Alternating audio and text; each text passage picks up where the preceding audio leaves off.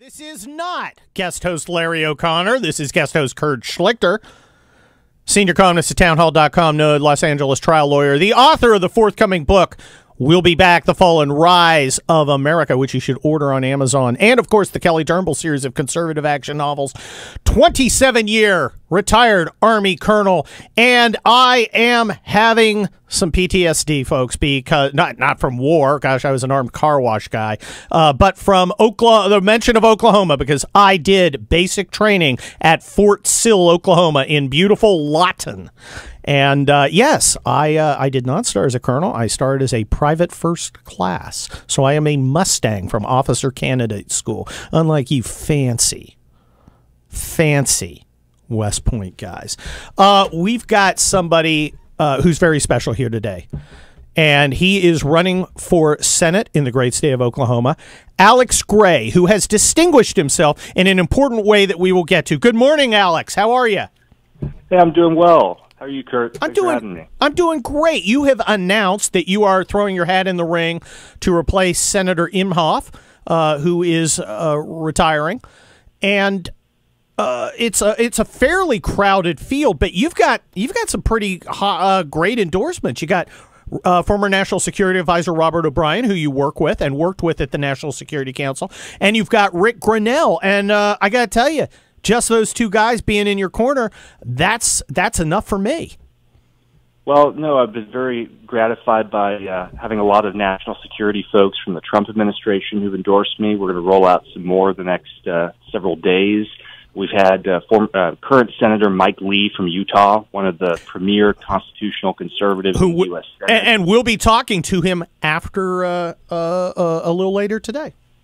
Perfect. Well, he he was uh, he endorsed me yesterday. Uh, we also got the endorsement of Kash Patel, who was uh, chief of staff of the Defense Department under President Trump, was a colleague of mine at the NSC, was uh, the lead investigator for uh, Devin Nunes on the uh, RussiaGate investigation in the House.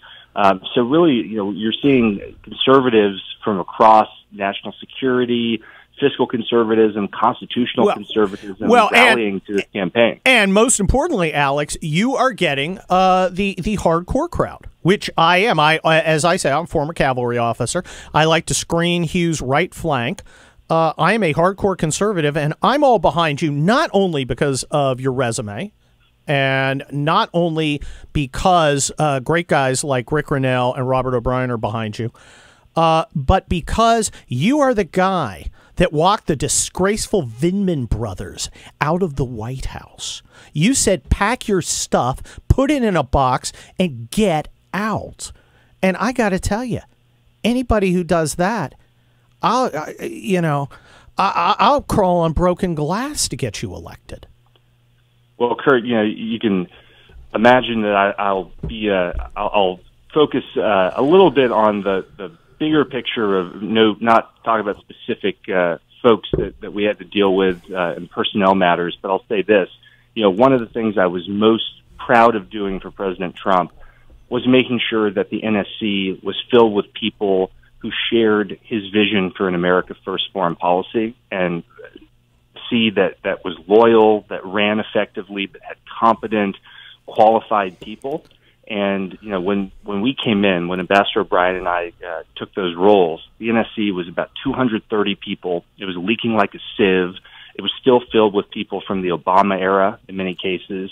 It was filled with people from from previous national security advisors uh, who didn't share the America First agenda. And one of the things that, that I'm most proud of is by the time we left, the NSC had the smallest, uh, most most competent, uh, really just it was a about 110 policy professionals. It was lean, it was mean, and we had accomplished more in an 18 month period than I would say any NSC probably since at least the first Gulf War, if not before. Uh, and, and that was really due to President, President Trump's leadership, but I think also because there was a, a core group around him finally after four years at the NSC who believed in his agenda and was willing to, to do what it took to get it done. Well, Alex Gray running for Senate in Oklahoma, you've got the foreign policy chops, and of course, you walked the Vindmans out of the White House, which endears you to uh, uh, veterans like me forever. Uh, but let's get a lightning round here on other stuff, on domestic stuff. Very quick answers. What do we do about illegal aliens flooding our borders?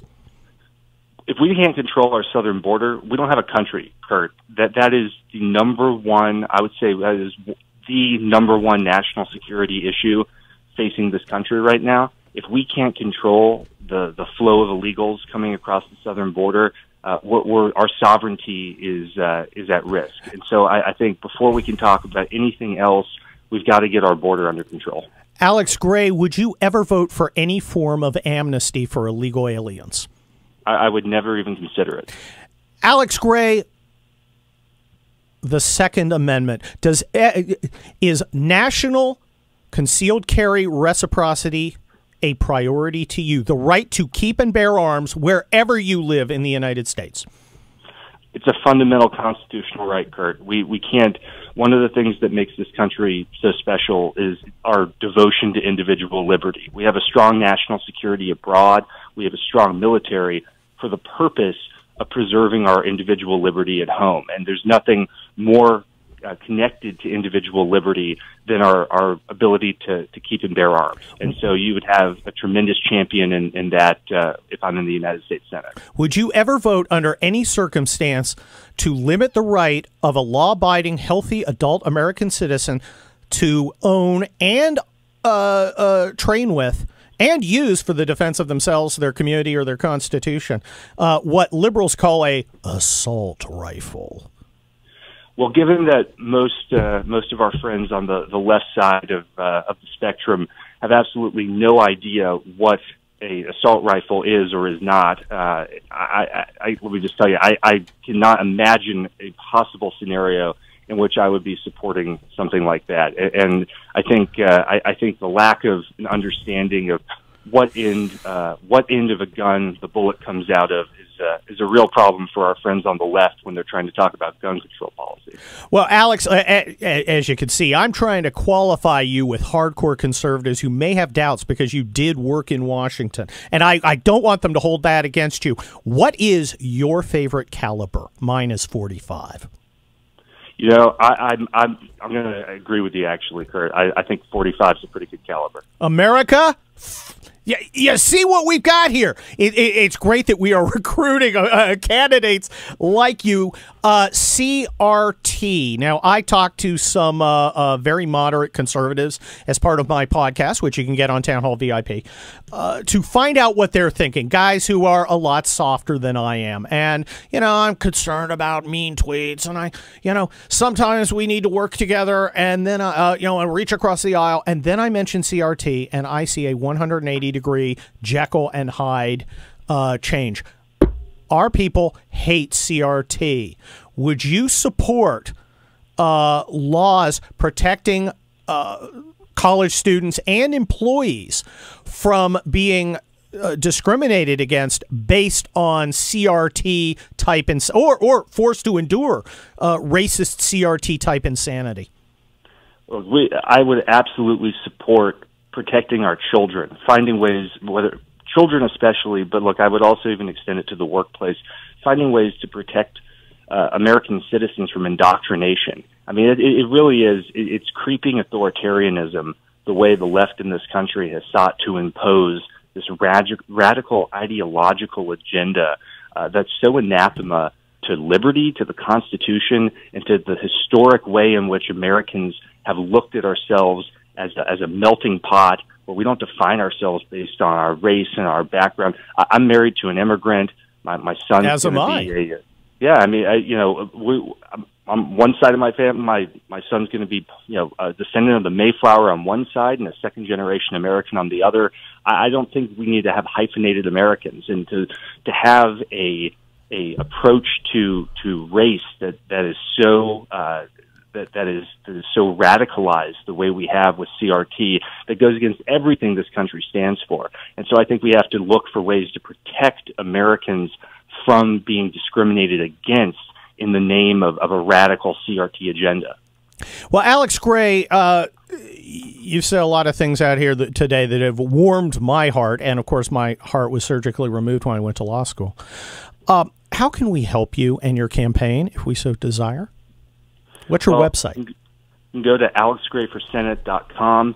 Look, we've been really gratified. We've uh, we've raised $100,000 in our first 24 hours. So really tremendous support from across Oklahoma, across the country. You know, grassroots conservatives who, who've looked at uh, what we're doing and see, look, there, there's one person who it's easy to talk about supporting Donald Trump. It's easy to say you're for Donald Trump, you're for America first. It's another thing to put your money where your mouth is and to spend four years working for him. Kurt, I, I was with him from the first day he walked into the White House. I was one of the last two people to walk out of his West Wing on the last day of his presidency. I saw him leave, say goodbye to him when he walked onto Marine One. You know, it's a whole different thing to to put your body on the line, metaphorically speaking, to try and serve his presidency and his agenda. Um, I, I I will, you know, I would ask for support from all America First true Trump believing conservatives, and I think we can make a, a real difference in the U.S. Senate. Uh, can you give us that website one more time, Alex Gray? We got about 15 seconds. It's alexgrayforsenate.com. Well, Alex, uh, look, uh, uh, you know, you like I said, you warmed my heart uh, with your tale of walking the Vindman brothers out of the White House. Those absolute disgraces. And how can I how can I not be happy with a guy who recognizes the superiority of 45 caliber. I'm Kurt Schlichter, guest hosting for the great Hugh Hewitt. We will be back back on the Hugh Hewitt radio program. I'm guest host Kurt Schlichter, senior columnist at Town Hall, noted trial lawyer, author of the forthcoming We'll Be Back the Fall and Rise of America, which you can order on Amazon, coming out in July, and 27 year Army Colonel. I'm joined by Dr. Michael Oren from the State of Israel, a paratrooper. Dr. Oren, welcome. I haven't called that in a long time, Kurt. Thank you. Well, look, I, I, I went and got my badge. I did my five jumps, uh, essentially to meet girls.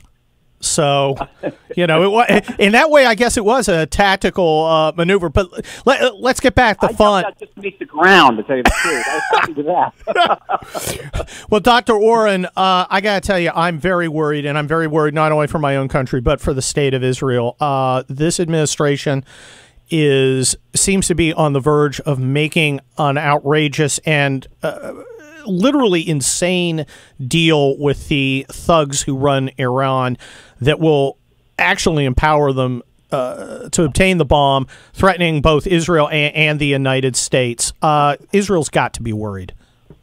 Oh, of course we're worried. Of course we're worried, and, and, and we're also, you know, dumbfounded. We can't think of any logical reason why our allies in the United States of America would want to do this to us. You know, it was interesting this week both the Crown Prince of Saudi Arabia and the, the ruler of the United Arab Emirates refused to take phone calls from the President of the United States. I, I don't remember a case like that in, in history. I really don't. And, and the reason that if you take phone calls, because I guess the president was the president was calling them to get them to ramp up uh, oil production so that oil prices in the United States would go down. But they're so furious at him. They're going out of their mind. Why would our ally the President of the United States, jeopardize our lives this way.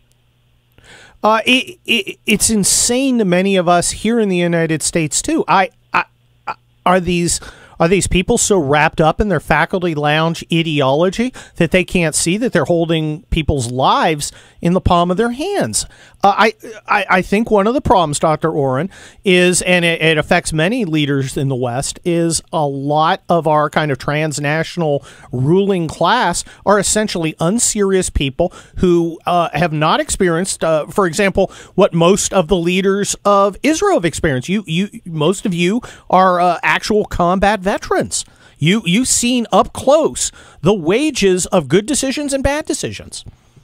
Unfortunately, really some some bad ones. What's weird here is that uh, you know here's an administration that came into office promising to do two things in foreign affairs. One was to restore confidence in the United States as an ally, and the other was to stand up for human rights around the world. You know, presumably the previous administration didn't do this. And and what are they going to do? They're going to sign an agreement which which in effect betrays America's allies in the Middle East and jeopardizes our, our future security, perhaps even our future survival. And uh, they're going to give tens, perhaps hundreds of billions of dollars to the world's one one of the world's most repressive regimes. And I mean, how does that square with the promises that the, administration gave, gave coming into office? It makes no sense at all. Uh, it, it, it, it's bizarre to me too, Doctor Oren. They they seem to welcome taking actions that harm both America and its allies, uh, including shutting down our energy industry here. I you you look at it and say if if you were America's enemy, what would you do differently? And I I, I can't see it, and I can only hope that uh, some uh, uh, sane folks within our government listen to the appeals of our allies like Israel. I, I, I just find it mind boggling. Uh, does Israel feel it's on its own and uh, that it needs to be ready to take appropriate action to prevent the Iranians from uh, crossing the nuclear threshold? Uh, Israel will. will take appropriate. We, we, we say we are not beholden in any way to this agreement. Certainly, we object to it and resent this. Uh, but at the end of the day, we're going to have to do whatever is necessary to ensure our security and our survival. Now, we may have some interesting allies in the Middle East, but at the end of the day, Israel is the only power that could take on Iran, and uh, and I believe we have that ability. Well, uh, Dr. Oren, if Israel has to act in its self defense, there are uh, hundreds of millions of Americans who will be behind you. And uh, I, I, know that you, you, you aren't interested in interfering in American politics, but from my side, uh, when we take uh, when we take control back, you know you will have a steadfast friend in the White House. Very quickly, uh, we only have about 30 seconds. What's your, as a military man, what's your assessment of uh, Russian performance in Ukraine? To me, it looks like they are not up to the standard I expected. Unless, unless uh, Putin has some other game up his sleeve, that it's a, a slow, slogging war of attrition, uh, waiting for the world to lose interest in the story, uh, and time, all the time ramping up the pressure without actually getting into the major cities. Russians have had a hard time fighting in major cities, yes. Chechnya and elsewhere. And, yes, they're they're noted for that. yeah, maybe that's Putin's game, just to, just to ride the whole thing out and squeeze these guys until they give in to Russia's demand. Well, Dr. Michael Oren, uh, Putin certainly doesn't have a lot of respect for what the West's ruling class, and frankly, that's probably deserved. I'm Kurt Schlichter, guest hosting for the great Hugh Hewitt. Seven year Army colonel, graduate of the United States Army War College. Hey, I'm no war hero like Pete Buttigieg. I just ran a heavily armed car wash. Uh, I am also senior columnist at townhall.com, a noted trial lawyer, and the author of the forthcoming Regnery book, We'll Be Back The Fall and Rise of America. If you want to hear about all sorts of crazy stuff, like a national divorce, what would a civil war look like? Is America doomed? Spoiler, it's not. We're going to win go get. We'll be back. The Fall and Rise of America. You can pre order it, comes out in July. I have a special pleasure now to introduce our next guest. I was just with him this weekend at a veterans event in Las Vegas. I worked side by side with him for election integrity following the flawed 2020 election, also in Las Vegas. It's my pal Adam Laxalt running for Senate. Adam, good morning. Welcome to the Hugh Hewitt Show. Good morning. Thanks for having me on. Well, Adam, uh, a lot, there's a lot of stuff going on, and uh, as a veteran, you have a excellent perspective on this.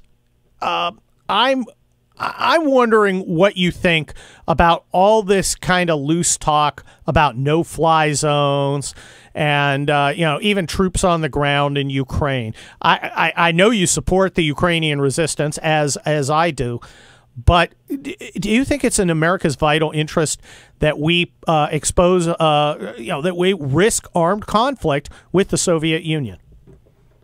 Uh, I'm sorry, Russia. Freudian slip.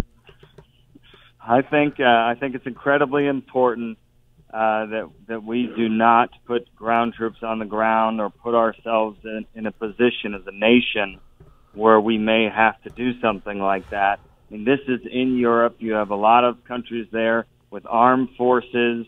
This is their backyard. I want to see their troops on the ground, uh, their their blood and treasure being being uh, risked uh, if, if if that's if that's the direction they decide to go. But you know, after a couple decades of wars, there's there's massive fatigue here in our country. I know our voters wouldn't support something like that, and, and you know, let's not forget that America, under the leadership of President Biden and and the, and, the, and his fellow Democrats, is in as worse a shape it's been in a generation. And people are feeling that acutely and keenly. And uh, we have a lot to take care of to, to, to save our great country before we're, we're, we're endeavoring and, and trying to save another country. Well, Adam Laxalt, uh, uh, running for Senate from the great state of Nevada, uh, you are running against essentially a non entity. I literally will have to sit here and think about what her name is because she's done so little except be a reliable vote for Chuck Schumer.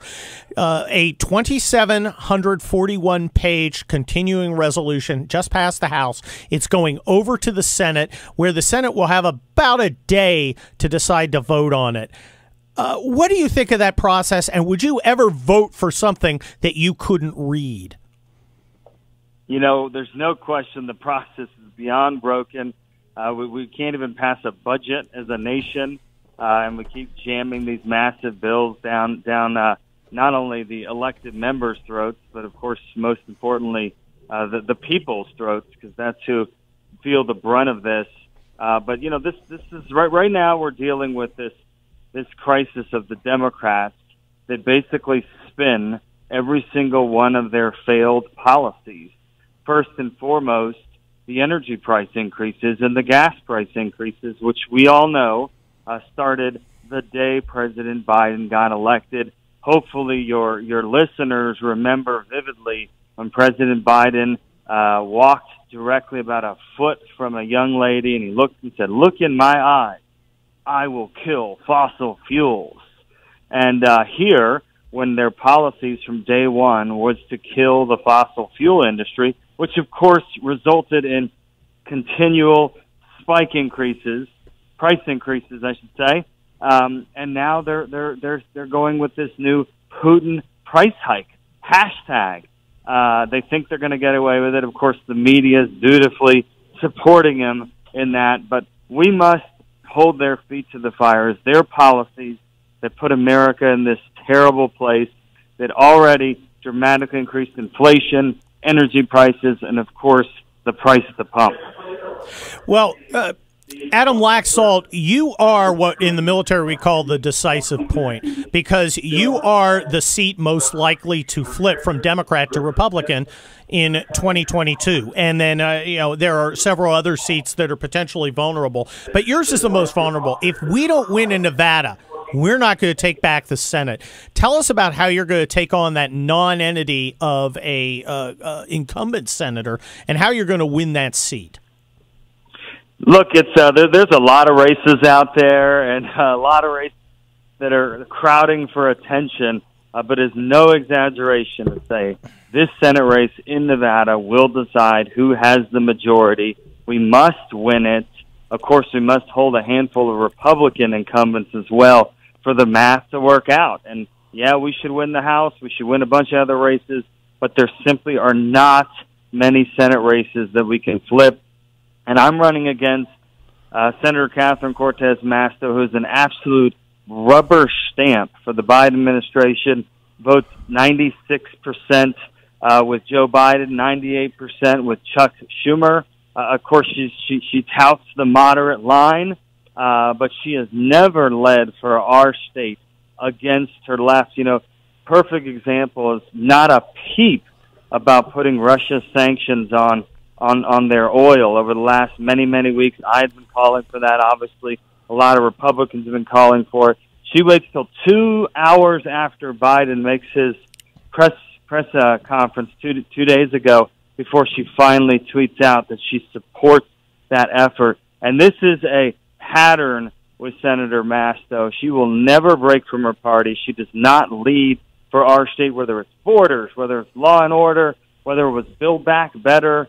Uh, she just stands at the left. And I can tell you, Kurt, uh, people are ready for massive change in my home state. Uh, obviously, they're ready for massive change in America, and we plan on holding her accountable. Well, uh, Adam Laxalt, you've uh, you've actually earned some pretty incredible endorsements. I know Rick Grenell, who was with us uh, fighting for election integrity in Las Vegas after the election, uh, he certainly backs you. And of course, your roommate at uh, in the Navy uh, backs you. Who who who was that guy again? Oh, just a little known governor from Florida, Ron DeSantis. Ah, so you got Grenell, you got Ron DeSantis. Anybody else in your corner who's We we do have uh, former President Trump, uh, who who is uh, front and center and, and very supportive. Supported me in the very first week. Uh, Senator Cruz, um, you know, you, you name it. Really, uh, pe- people are ready to support this effort. They know I'm going to go to D.C. and be part of hopefully this new generation. I'm 43 years old. Uh, when I was Attorney General, I was a part of the the small band of conservative AGs that woke up every single day fighting against President Obama and trying to save our Constitution. And we need to bring that kind of fighting spirit to D.C. Uh, not just for all of D.C., but within our own party. And that's something I certainly intend to do. Well, you know, Adam Laxalt, I, I watched it happen when we were working together in Las Vegas. I you were you were up early, you went to bed late, you never stopped. You were always going, going, going. And I, I you know, we we, we had met uh, one or two times before that. Uh, but working closely side by side with you, I was impressed just by your energy and that uh, you know bo- both reflects your family, which uh, uh, famously your uh, grandfather Paul Laxalt was one of Ronald Reagan's best friends and uh, a, a conservative leader, but also uh, your your military background. You you, are an aggressive uh, officer. You you you move to attack. You know, uh, it, it's uh, it, it's our time. Is all I can say. Uh, pe- people know that our country is in grave trouble, and the reason I'm running for this seat is to be part of that change, change that we massively need. And um, you know, I, I, I think in the end of the day, pe- people want leadership, and and people need to know that that people are ready to to fight for this country. And it's something obviously I did in, in uniform, uh, both in the Navy and Iraq uh, in my twenties. Uh, but you know now now we've got to save the entire American project, save the American way of life. Uh, and look, the good news is, as terrible as things felt from you know basically January of 2020. Well, Adam, we're we're we're coming up against a break. How do Yep. we help you? What's your website? AdamLaxalt.com.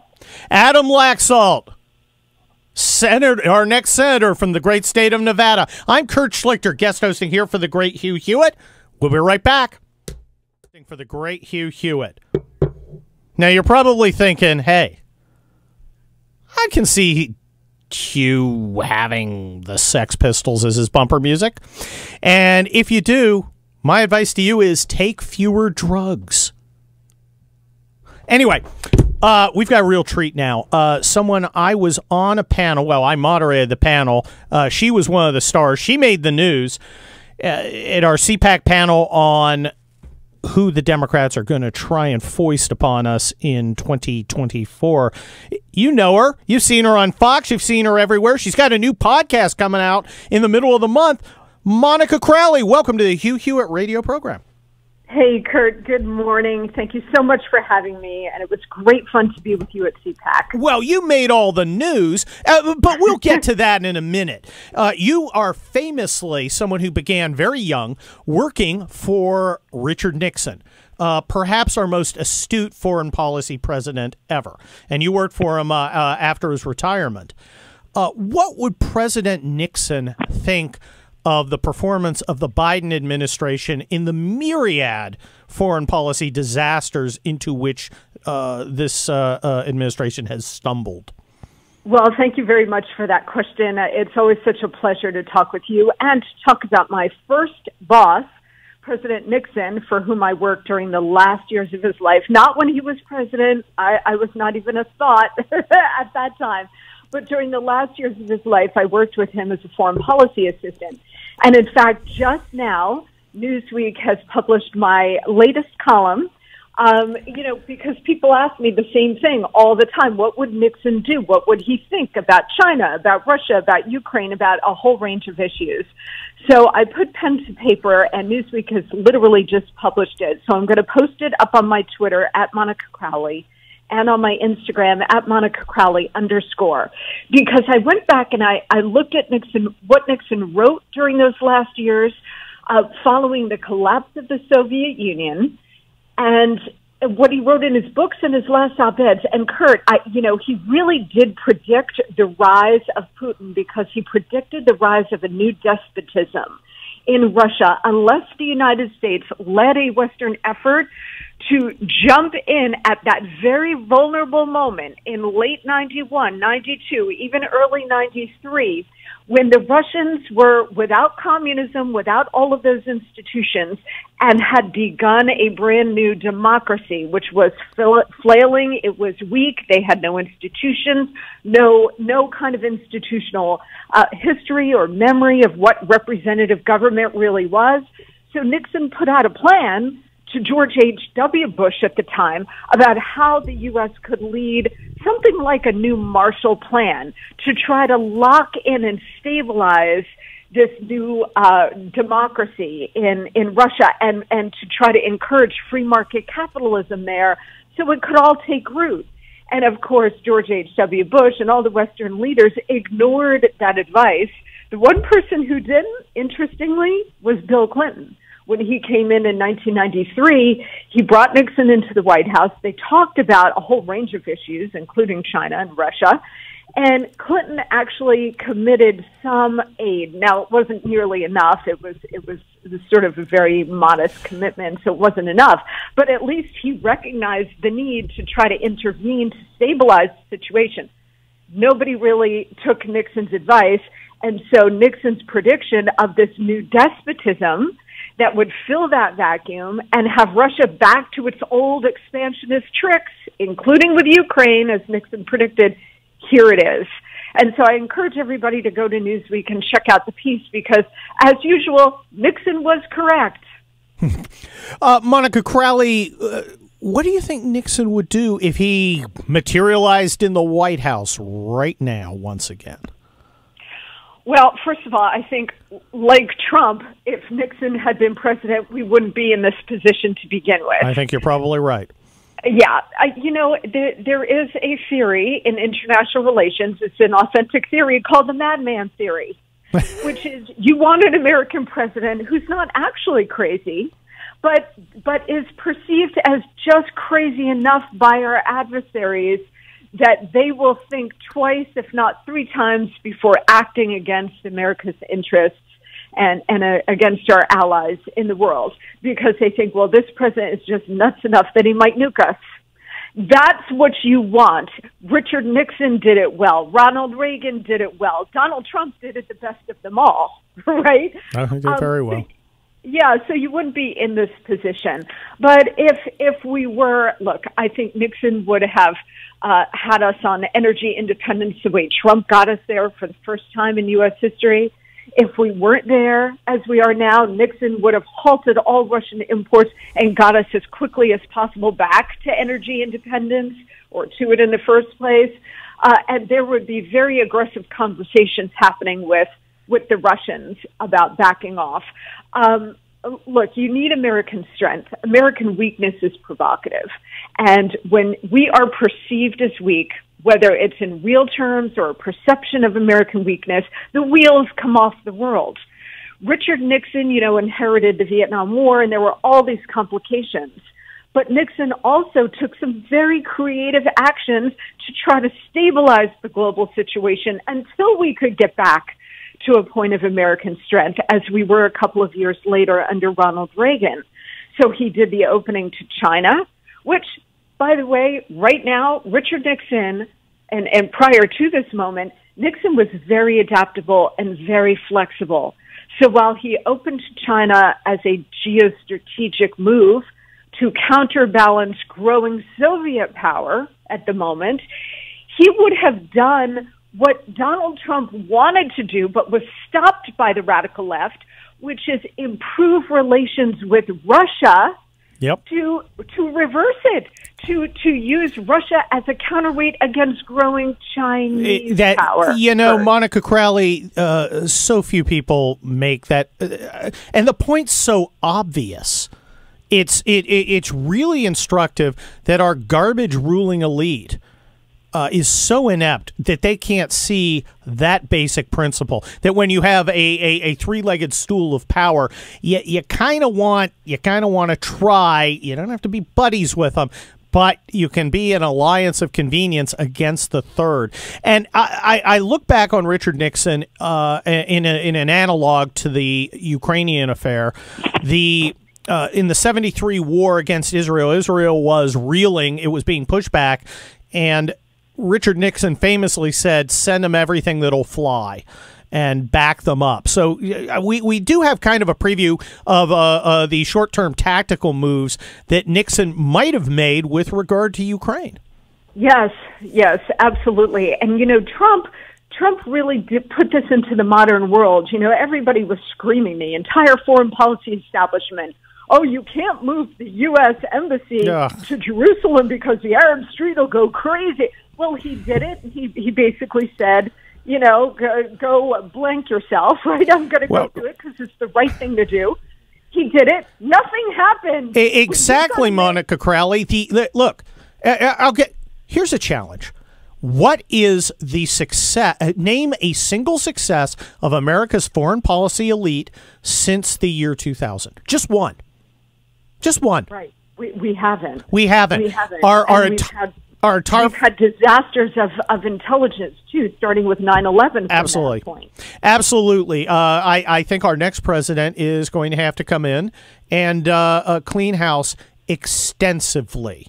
Uh, there is a lot of dead wood to be pruned. Now, at CPAC, we had a, a, great time on our panel talking about who the Democrats are going to try and put up to uh, uh, in 2024 and the challenges they're going to face because of uh, President Biden's uh, gross and manifest incompetence. And you uh, you had a couple of uh, suggestions that uh, actually uh, made some news. Yes, so you, you did a fantastic job moderating that panel, and you came to me first about Mrs. Clinton uh, because I was the only woman on the panel, so I, you know, I wanted a real crack at her, and you gave it to me. Uh, All yours.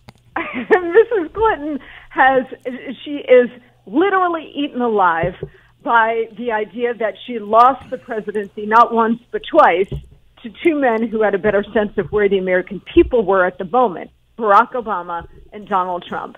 She has spent her entire adult life and maybe even her childhood uh, drooling to be president of the United States and put up with serial humiliations from her husband and so on in order to get there. And she still hasn't gotten there. So make no mistake, Mrs. Clinton still has the ambition to be president and she could very well run because nobody thinks that uh, you know, the desiccated old senile man in the White House now is going to make another five minutes, never mind another two years. So uh, they have to they have to Bigfoot Kamala somehow, and that's going to be very difficult. She's a sitting vice president. She's a woman of color. So that's Mrs. Clinton. That's her challenge. But the way they solve the black woman problem, as I mentioned at, at CPAC, without alienating the black female vote, which is critical to the Democrats, is to think about running Michelle Obama. And a lot of people poo poo that. I talked about this at CPAC. Oh, she's not political. They're making too much money now. She's not going to do it. She is a very political person and she kind of solves all issues because she's very popular. She is immune to criticism and she's actually taking the path that Barack and Bill Clinton and Hillary all took to the Democratic nomination writing an autobiography, going on a big tour to sell the autobiography, oh. a big, big a corporate deal. A terrifying vision of the future. Monica Crowley, where can we find your new podcast? We only have a few yes, seconds. It, yes, it's going to launch in the next like two weeks, and it will be everywhere. Thank you, Monica Crowley. This is Kurt Schlichter on the Hugh Hewitt Show. We'll be right back. And Minor Threats cover of the Monkees' classic Steppin' Stone can only mean one thing that Kurt Schlichter is guest hosting for the great Hugh Hewitt. And, of course, that Senator Jim Talent is our next guest. Senator Talent, I hope you appreciate the musical choices that I we're making. was making. going to say it must be great to be on the bridge and in command of the music. Huh? Uh, yes, and uh, you know there are some commanders who are uh, calm and sober and collected, and then there's me in control of music. But uh, uh, Senator, Sober anyway, I think. I don't know how calm and collected you are, but I, I take. I've been watching you. I think you look pretty sober. Uh, well, you know, sometimes you put a good face on things. In, any case, Senator Talent, we got to get serious here. I'm taking a look at uh, what's happening uh, from a military. I retired United States Army colonel, uh, graduated in the Army War College. And uh, I'm looking at the Russian forces, and it seems to me that uh, we have, uh, uh, and you, you should do this because you want to fight the strongest enemy. You don't want to prepare to fight a weak one. But it seems to me that we have seriously overestimated the capabilities both in uh, operational uh, action and logistics. Of the Russian forces, they they don't seem to be hitting their marks as far as taking uh, Ukraine. Yeah, well, this is this is what guys like you who know this stuff are arguing about, right? Is this a bad army, or was it just a bad plan, or is it both? Right? Right now, I'm inclined to say it was just a terrible plan, and as a result, I think the Russians are going to win some battles, which is in the sense that they're going to cause tremendous damage in urban areas and kill a lot of civilians it looks to me like they're losing the war in the sense that they're not going to accomplish what was their strategic political objective to decapitate the Ukrainian government and install a puppet who would do Putin's bidding and be able, relatively at least, to stabilize the country. That seems to me a long way away for them from uh, you know for them at this point. But I'm not prepared to draw conclusions about the overall operational capability of um, of the Russian armed forces so far. Well, uh, Senator Jim Talent, we are certainly watching what the Russians do. I hope we're taking time away from important tasks like uh, transsexual awareness and yeah. uh, equity training uh, to look at what the Russians are doing and how they're fighting and, and assessing that. I know our Chinese opponents are doing it, and they did it when we were in Desert Storm uh, where I was 31 years ago right now. I know they did it after the air war over Serbia. Uh, they watch very closely what we do, they take notes, and they uh, incorporate lessons learned. Are you confident that our military can do that too, right now? Uh, yeah, I look. I think we're. I think we're good at that. Um, I don't think the problem has primarily been in the Pentagon the last few years. The problem is the policy we've been following in Europe and really around the world. I mean, look look at what we've done in the last 15 years in Europe. So we admitted a number of countries into NATO at the same time as we were drawing down radically our ability to defend them. As you know, as of 2013, we didn't have a working tank in Europe. The Germans were training with broomsticks in 2015 because they didn't have rifles, right?